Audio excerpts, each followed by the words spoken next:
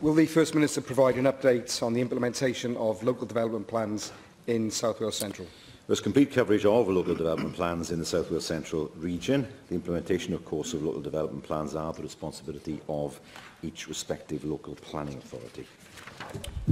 Diolch. I didn't really expect a, a proper answer, so I'm going to give you an update on the LDP in Cardiff on behalf of residents, because your local development plan is bringing absolute chaos Traffic jams already go on for miles, and yet there will be over 10,000 extra cars on those roads already rammed.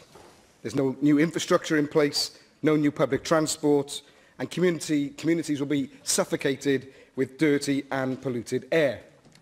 GPs, GP surgeries are about to have thousands of extra patients when they are already at breaking point. New places will not be provided in doctors' surgeries or hospitals until 3,000 houses are built. You denied announcing that all this would take place.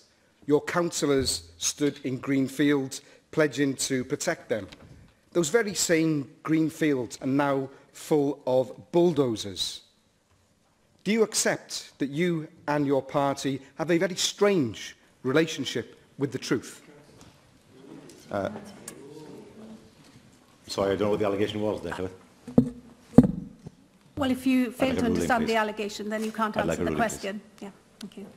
Um, Andrew Davies.